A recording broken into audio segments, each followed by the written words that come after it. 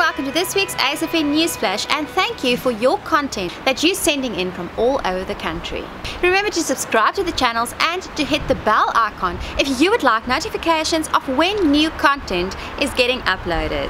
Starting this week off with a bang is Andrew Reddy that caught a 255 centimeter giant guitarfish. This weighed in at 93.5 kilograms and was caught at Mhlanga. Then Shalvin Naidoo with a duck bill of 156 centimeters.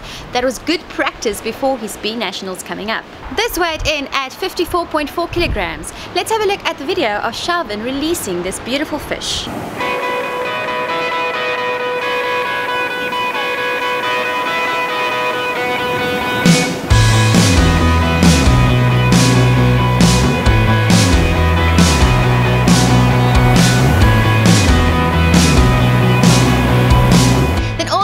Perth in Western Australia, we received this beautiful tiger shark from Jacques Luchenberg. This was caught on his Kingfisher Poseidon rod on his Daiwa SL50H 0.55 Kingfisher Giant Abrasion and a Kingfisher non-return slide clip.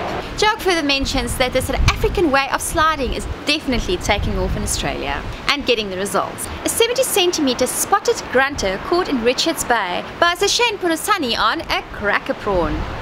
Marcus Strepie fillet definitely produced, landing this 7 kilogram cod. Well done. This juvenile mussel cracker caught by Trevor Hand at Seaview in PE was caught on a 4-0 Mustad hook and 8 kilogram kingfisher line. Let's have a look at the video of releasing this fish and thank you Trevor for preserving our stocks.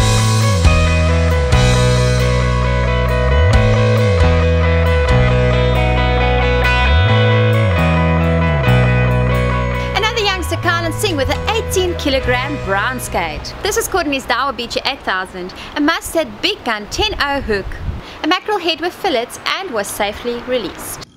Been pitching some live baits here with the Catalina 5000 and the Saltist 7 um, 7 foot HS. Lovely rod for popping and uh, and also pitching live bait. Darrow Bartho pulled some weight with his brand new Saltist 7 foot, landing these beautiful tuna and recommending the Saltist 7 foot for the job.